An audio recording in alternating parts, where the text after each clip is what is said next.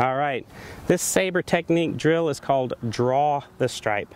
So what you're going to do is you're going to take the heavy end of the saber and that stripe on top should be right there, blue for me. Could be any one of these colors for you. So what you're going to work on is you're going to take your swing, go to the follow through side. Now, once you get to the follow through side, if you're going to hit it dead straight, that blue stripe is on top. If you're going to draw it, you're going to see the ball position indicators. Okay, so from here, take your backswing into the downswing, ball position indicators. So you want that stripe turned to the left, which is actually going to close the club face through impact and help you to hit that draw.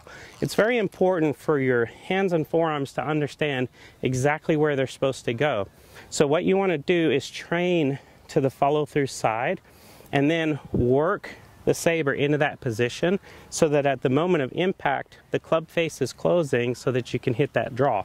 So backswing, you can let it set or not set, but then work it over so that you see the ball position indicators here.